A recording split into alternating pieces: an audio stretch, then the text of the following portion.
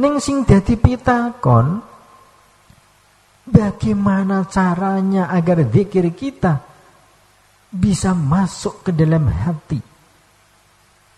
Sehingga dia huwallazi anzala sakinah fi qulubil mu'minin.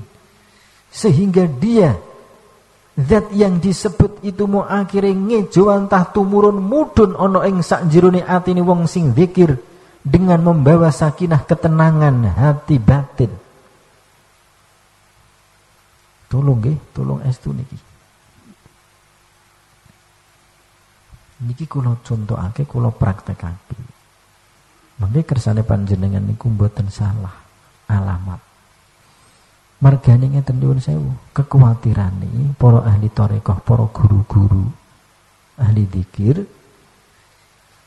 nak para salik sing sedang suluk dengan mengendarai zikir mergo as-shalah mi'rajul mukminin ai adzikru mi'rajul mukminin.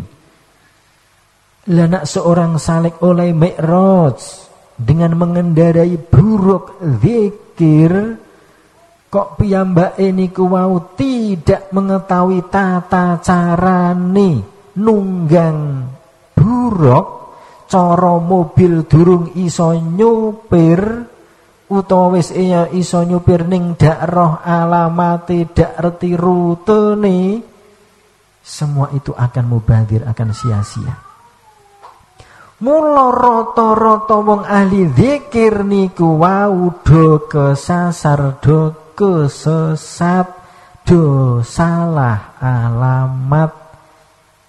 Kok saged zikir saged salah alamat? Niki lho sing kula kuwatir. Sampai warga jamaah ada yang belum paham tentang lokasi zikir.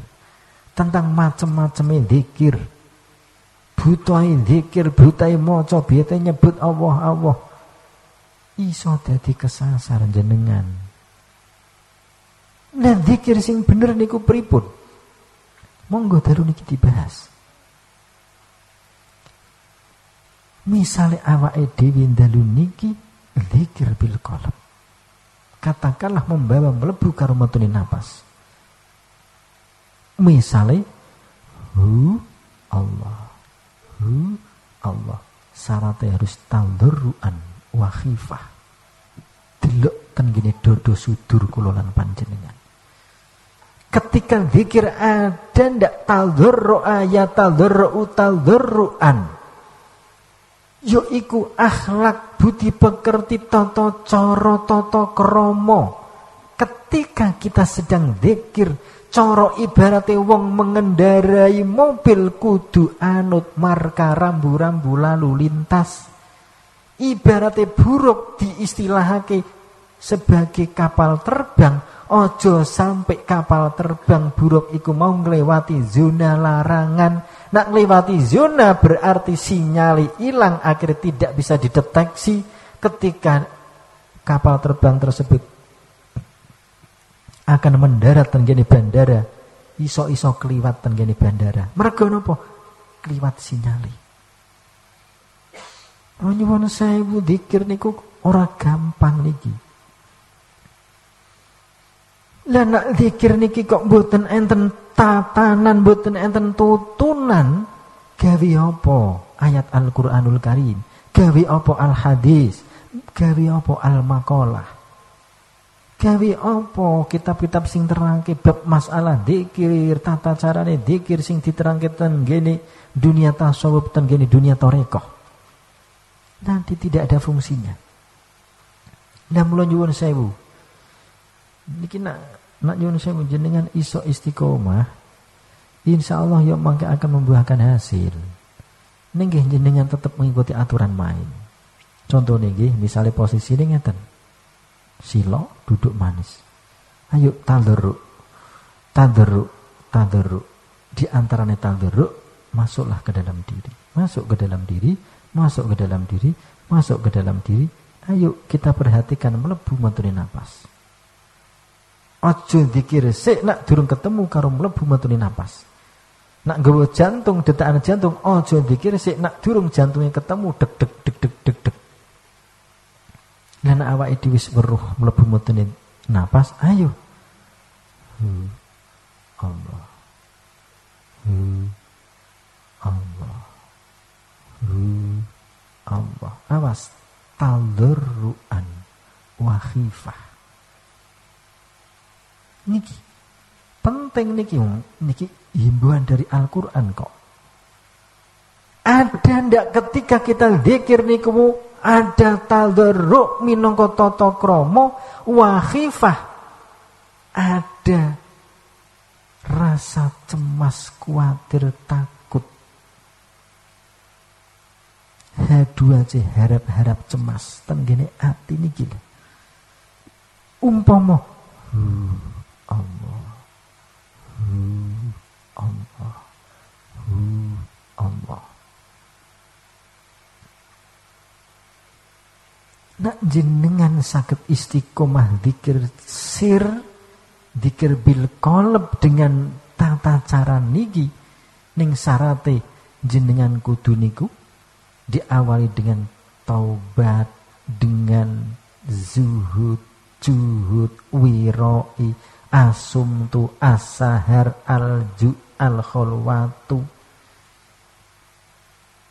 dikir niki wau tidak akan bisa tadarruan wa khifah. Tiring wong enten aturane kok. Muloten gini mu'adzamul arkan ono istilah rukun al kholwatu awil uzlah. Nak kepingin belajar dikir bisir bil kolep kholwau nyepiyosik diwiosik ning jero kamar nak ten gini pasiban nggih ten gini RSC ning jero kamar ayo melatih diri untuk zikir. Hu Allah hu Allah. Terus istiqomah terus. Dengan tadarru wa khifah. Terus. Di istiqomah kesik niki di istiqomah kesik minim-minim 41 hari. Biasa alis alis toreko niku mesti mendeting 40 41 terus sampai awak tolong nggih tolong. Niki dipahami kanthi estu dipahami kanthi estu niki adalah awal dari mi'raj kita. Ketika kita Isra dikir adalah dikir jahar. Mula dikir la ilaha illallah, la ilaha illallah jahar. Niki adalah dikir bimana isra. Ning ketika kita dikir untuk mi'raj, pertama adalah fi nafsik nafas bimakna kolok. Walkur ilingo. Hmm. Rabbaka marang Tuhanmu fi nafsik ono ing sak jerone dodomu jiwamu yaiku ati. Ketika kita sudah nyebut Hu Allah, Hu Allah, Hu Allah. Terus Hu Allah, Hu Allah, Hu Allah, Hu Allah, Hu Allah, Hu Allah, Hu Allah, Hu Allah, Hu Allah, Hu Allah, Hu Allah, Hu Allah, Hu Allah. Terus niki terus dia niki hati niki terus Hu Allah, Hu Allah, Hu Allah, Hu Allah. Aja mandek. Hu Allah, Hu Allah, Hu Allah, Hu Allah, Hu Allah, Hu Allah, Hu Allah. Mula ketika jenengan sing derek-derek ten gini pasiban niki dikir bil kolab dijalani tujuh hari pertama. Dikir besir dijalani tujuh akhir.